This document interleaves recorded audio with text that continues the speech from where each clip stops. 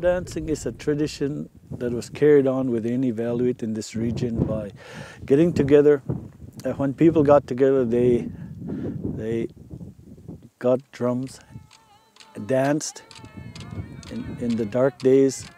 You know, I'm you know I'm not sure it was Christmas or whenever whenever they had gatherings. They use drum dancing to communicate to each other, to show people that they're happy, they're, everything's okay in troubled times and in, in you know scarce times. It, I guess that's a way to be happy, to celebrate with each other.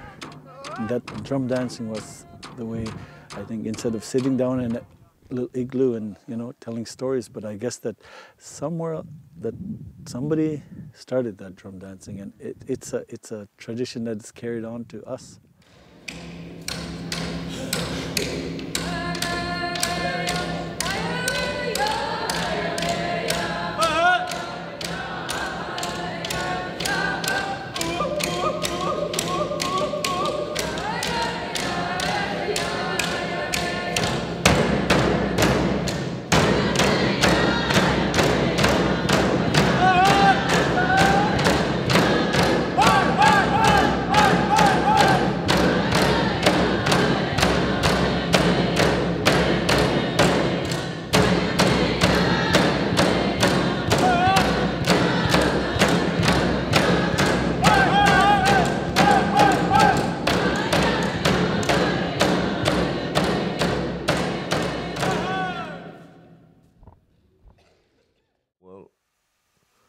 Some songs is uh, about polar bear and traveling and with the wording. Uh, so, like his uh, buddy with the joking buddy.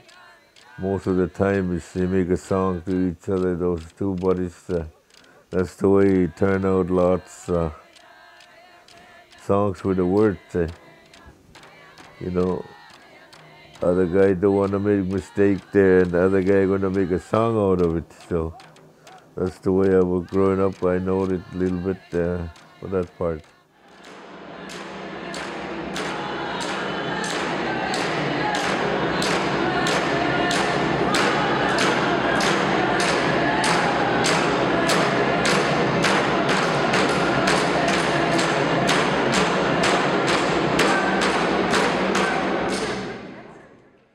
Inuvialuit drum dancing has been a part of our culture for many generations.